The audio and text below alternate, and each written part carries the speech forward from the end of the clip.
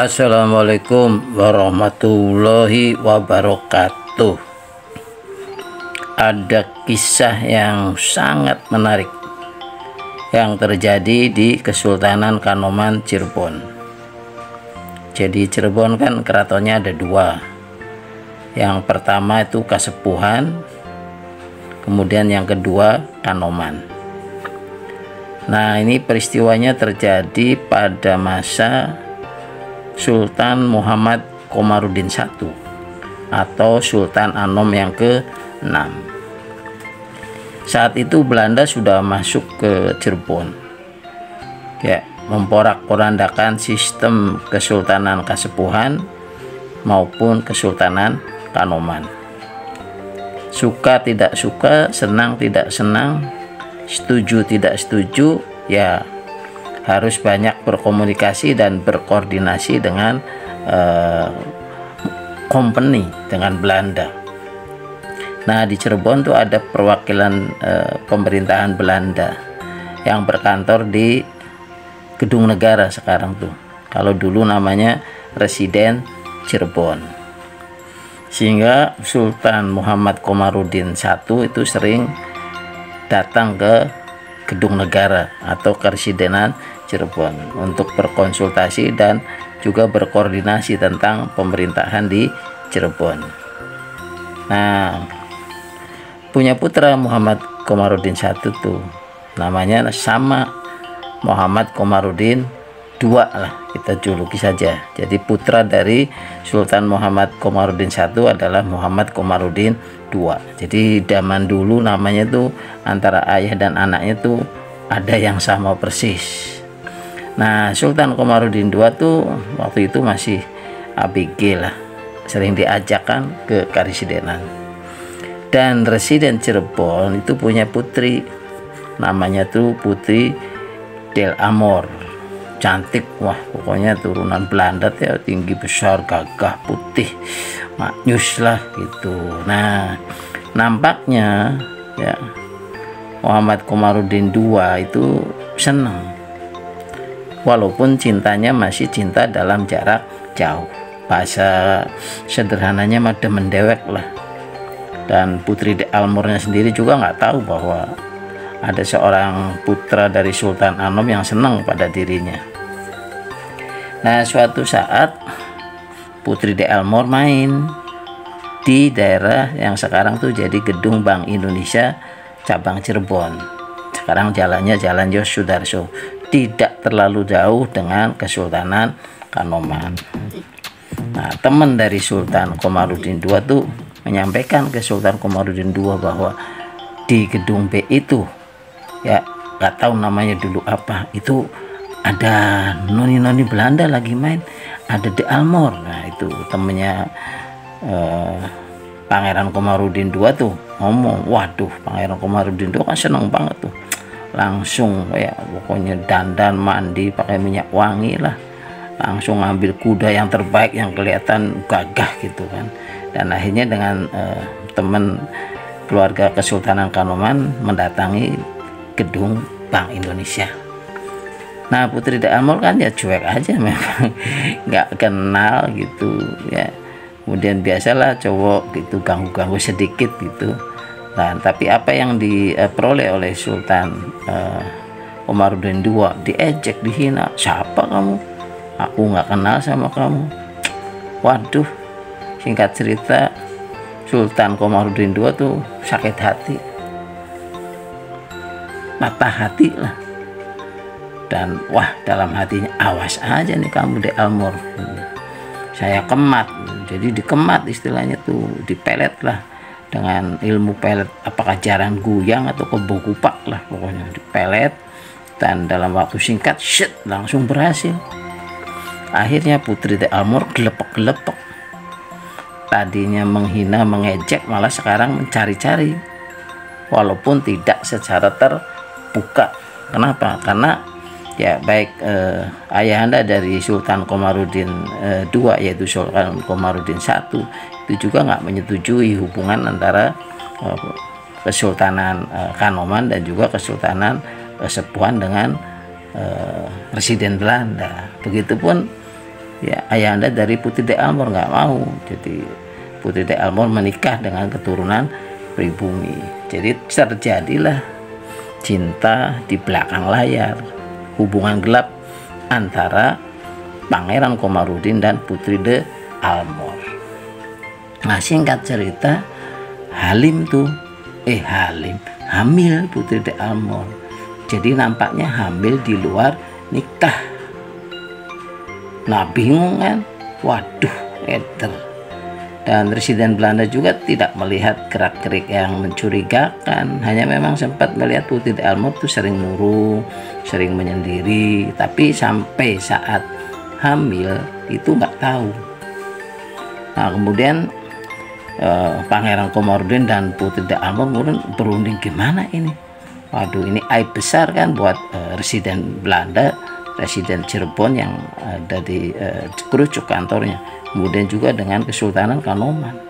Nah akhirnya singkat cerita nah ini kurang tahu persis nih apa bayinya sudah meninggal atau masih hidup.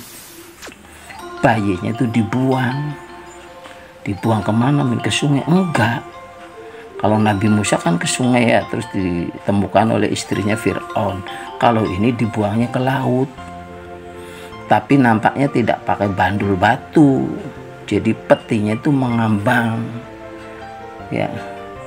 Terayun-ayun di ombak pesisir pantai Cirebon.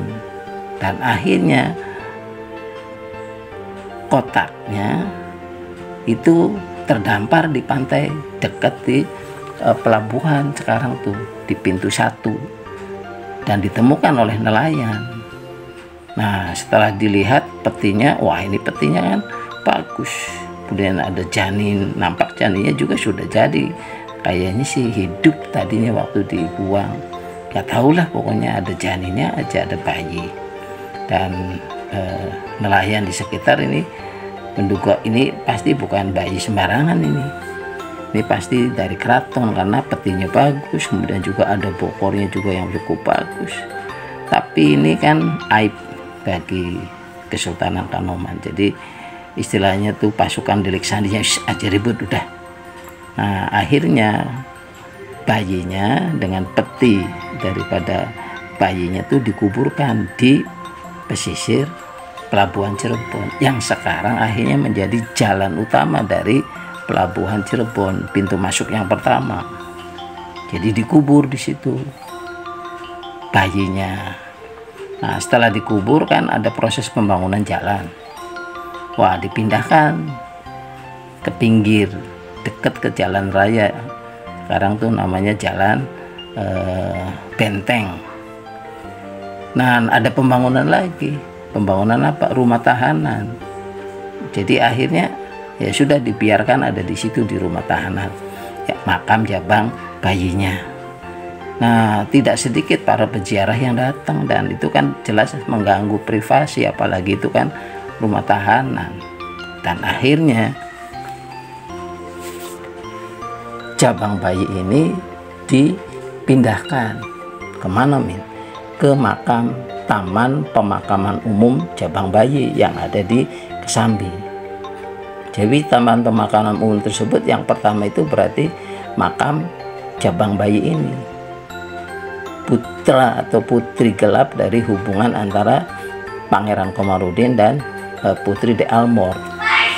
Jadi di Taman Pemakaman Umum Jabang Bayi. Makanya sekarang di situ ada nama Taman Pemakaman Umum Jabang Bayi itu diambil dari uh, Jabang Bayi yang dikuburkan di uh, Taman Pemakaman Umum tersebut.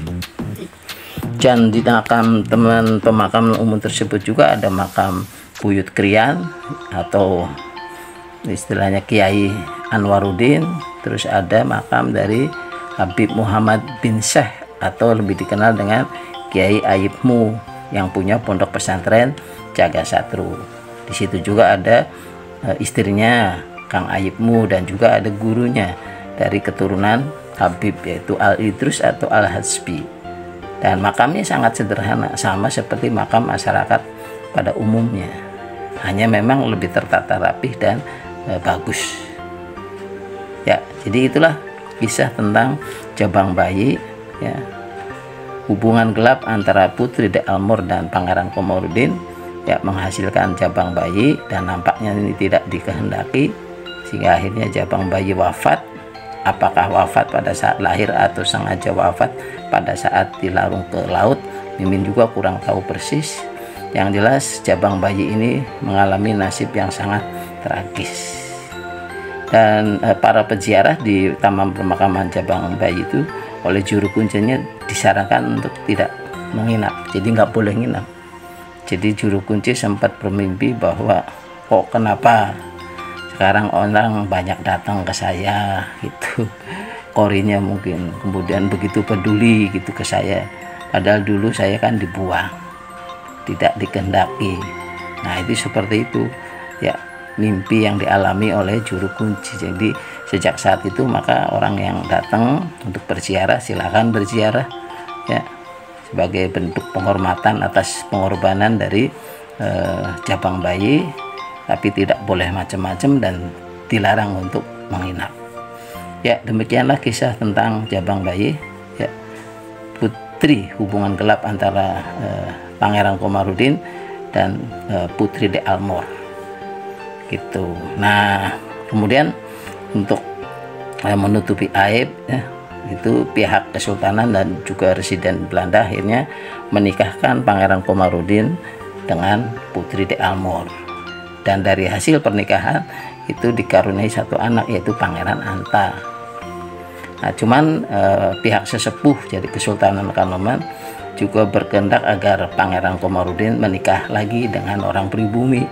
Itu sehingga beliau akhirnya menikah dengan keluarga dari Kesultanan kesepuhan dan punya anak namanya Muhammad Jul Karnain.